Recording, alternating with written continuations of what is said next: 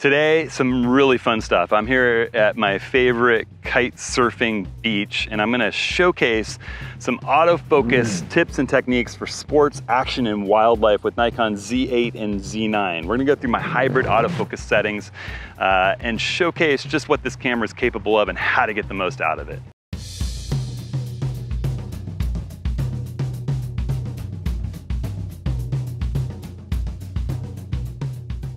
Well, hey everyone, it's Hudson. This week I'm coming to you from one of my favorite places on the planet. This is the, the Kite Beach at Sauvie Island. It's a place my family and I have spent a lot of time over the years. The kids have basically been raised on this beach hydrofoiling. And the reason I'm here and bringing you here is I'm gonna have you look through my Z9 as I talk about the action and wildlife autofocus settings that you want to think about using to get the most out of your action and wildlife photography with the Z8 and Z9. Now last week I talked about the older Nikon released mirrorless cameras, both the APS-C and full frame, the Z6, Z7, Z5, Z50, Z, ZFC, all those cameras, and how to use their autofocus system, which is slightly different. So this week we're going to go into the nuances of the big dogs, the, the Z8 and Z9. You get to look through my lens while I'm working, and I'll do some B-roll showing you which button buttons I'm hitting, uh, and we'll photograph some action. And I'll show you how I've, over the years, come to use this magnificent autofocus system. Uh, this has been something that's been requested by a lot of my workshop participants and a lot of the new people that have jumped to the Z8. So I'm happy, happy to bring it to you. So, you know, without much further ado, I can see my friends are already setting up even though the wind's light. This is a place where the wind comes up every evening and I can see up around the bend the other way on the river, the wind is coming. So let's get out there and we'll do some photography and maybe afterwards I'll do a little kiteboarding myself. All right, so right now you're looking through my Z9. I'm not hitting a button at all. It's my 100 to 400 millimeter lens. My friend Jason is landing his kite on the beach. The wind's up a bit. Uh, and I am in my shooting bank A. I hit my I menu to show you that. And my custom settings bank A. You can go into my setup videos. I have setup videos for the Z8 and Z9. They're very, very close, very similar. You'll realize if you've been through those setting setup videos, which you really should have done, that there are these custom settings banks and shooting banks. And they're like sort of four bookmarks of different places in the menu. And right now, I'm in my standard shooting bank, my standard custom settings bank. So this is my kind of everyday shooting mode. I'll hit the I menu to get out of there and we're just looking at the world here, single frame, manual uh, mode, and I'm at auto ISO.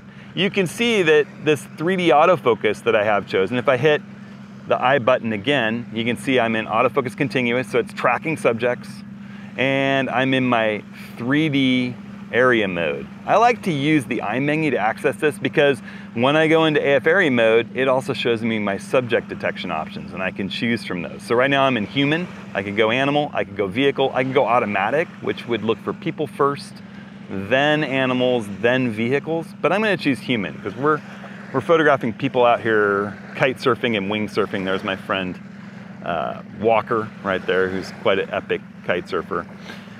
And you know, I can pick him up with that 3D tracking square and it's gonna look for faces and eyes, torsos. As he comes around, it'll, it'll recognize that there's a head if he gets closer to me. There it is, boom.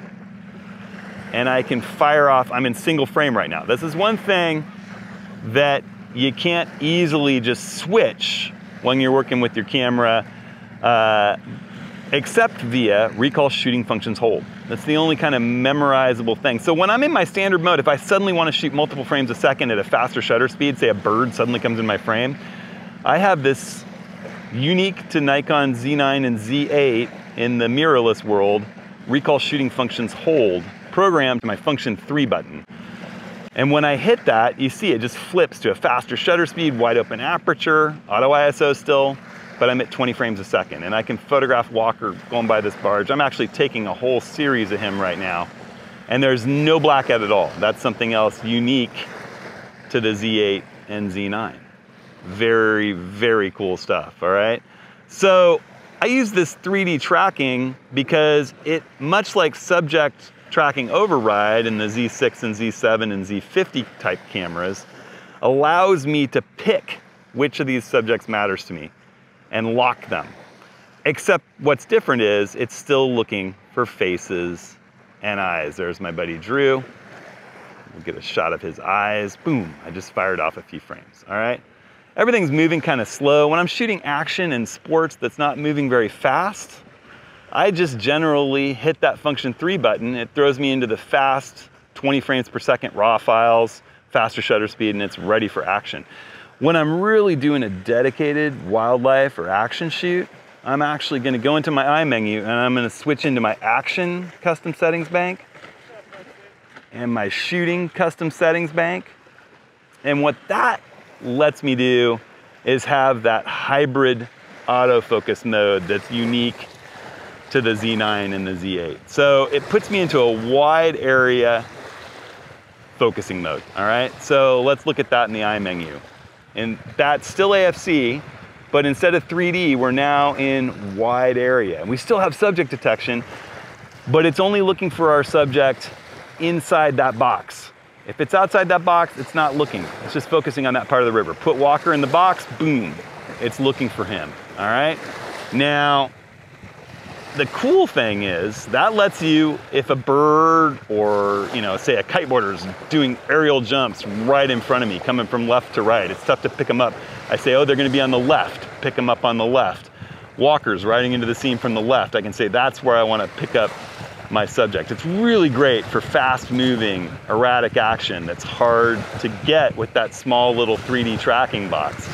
But it also allows you, you know, to pick one subject from another in those types of situations. Here's my little friend who's learning to ride. He's 14, I think. You can see it's picking up his eye, but if I really want to be able to track him all over the frame, I can hand that wide area picked up subject off to 3D tracking with a simple button press.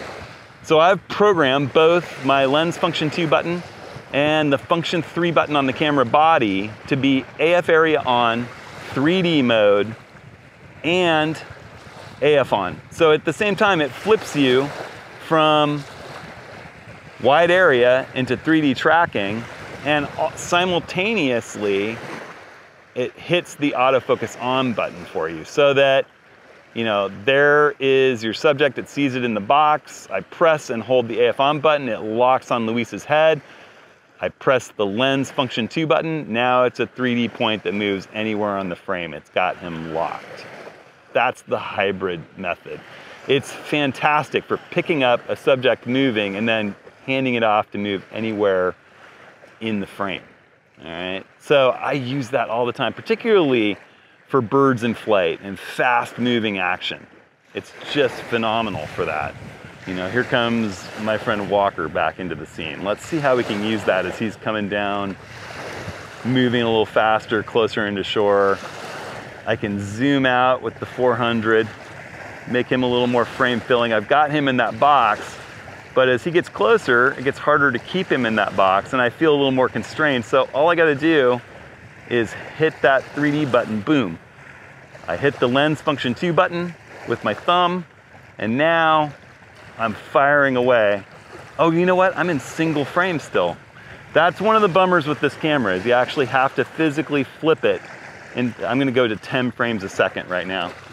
You actually can't program that into the banks, the shooting banks or the custom settings banks. So once again, I've got him in the box. I'm picking him up. I'm gonna, ooh, he blew it. Oh well. That's a, that's, there you just saw me make the mistake. You know, you flip your modes and you could well forget that you're still in single frame mode. There's my friend Adam. So I'm gonna lock him into 3D tracking. It's got his face and fire away there. All right, I'm actually firing frames at 10 frames a second now. Here comes Walker, he's back up. I'm gonna lock him off, move it to 3D tracking with the lens function button. So I hit AF on while he was caught in the wide area, handed it off to 3D tracking with my lens function button, and I'm actually firing frames all through that. No shutter lag whatsoever. All right, so if I were to summarize, all right, in the hybrid mode, in your action bank, if you use my setup videos, it's gonna put you into wide area. You pick up your subject in that nice, big, easy to capture frame. You use whatever button you've programmed to be 3D area mode and AF on to lock it off in 3D. Whoa, that was cool. Oof, he's really working on some stuff. and that lets you track it all over the frame. It's, like I said, particularly handy for those of you who love to photograph birds in flight. Okay, so last thing I wanna talk about is that situation where you've got maybe a complex background and say a bird lands in a nest and there are leaves all around. And these auto area modes are getting a little screwy for you. They're picking up things you don't want them to. Well, let's say you're in that situation. You've been photographing birds and all of a sudden you want to capture a bird that's on the nest. I'm gonna pretend that this channel marker over here is the bird that's landed on the nest. If I press my function two button, I have that program through that same recall shooting functions hold that we did in our standard mode to get to a faster frame rate and a higher shutter speed. I have it programmed here in my action mode to simply flip from wide area autofocus into single point autofocus. You saw it didn't see Walker come through at all. It's not a smart mode, it's a simple autofocus point.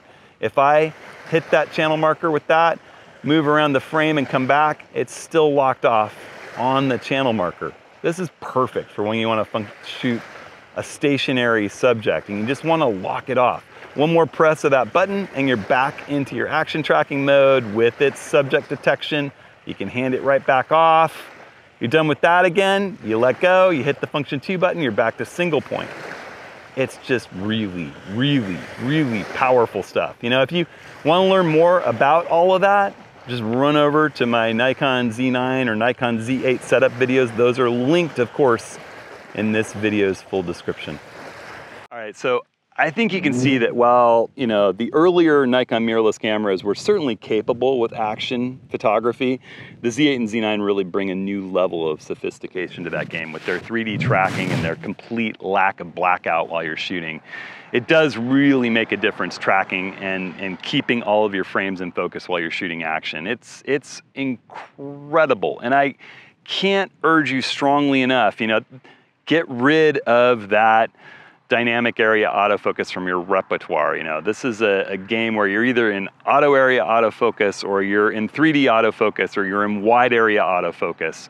It's gonna do everything that you want and, and more and be identifying those subjects and then narrowing down to their eyes when possible. So it's just a whole new way of photographing and it's super, super exciting. It just about everybody I know who's gotten a Z9 or a Z8 into their hands on a workshop is just like, wow, I have people that were with me in Costa Rica last year that are already signing up for Costa Rica in 2024, just because that workshop in particular gives you such an opportunity to photograph wildlife in action on just a, a, a, minute by minute basis. There's so much teeming wildlife, and it's such a challenge that a lot of the people that were there last year with their Z6s, Z7s, D850s, D500s are so excited to take their Z8s and Z9s into those same rainforests and photograph the monkeys and birds and wildlife of the Costa Rican jungle. There's still a couple of spots for that workshop too. If you click up at the top, you can go to the page and learn a little bit more about it. Um, that's going to be going next year. It's going to be a ton of fun. We're also, just so you know, having office hours on September 5th. We're going to just be back from the Coast Workshop, which is actually getting started as you watch this video or as it launches on YouTube. Uh, our Oregon Coast Workshop out of Newport, Oregon, which is going to be a ton of fun. So we'll share some tales from the road, take your questions, big open, free photography get together on Zoom and YouTube Live. You can sign up for that by clicking the link up at the top or going into the video's full description where you can find a link to last week's video about the Z6 and Z50 and Z7 variants, the older versions of the camera and their autofocus tips and techniques, uh, as well as a chapter table of contents of this video to click around and rewatch any section that you want. And links to all the gear that I I use and advocate others using. And if you use those links, they really help me out. And I want to thank you in advance just for being part of this whole Approaching The Scene community. Uh, your feedback, your requests for this type of video are what drove me to produce it. Your questions via email, via comments on this channel, via questions that you ask me during workshops really do drive the content that I put out there. And I appreciate you as a community giving me that feedback, liking, sharing, subscribing the channel. It just makes all the difference in the world. So thanks everybody. And with that, I'm gonna go out there and do some kiteboarding myself. So I hope you're all out there staying safe, staying creative. We'll see you next week.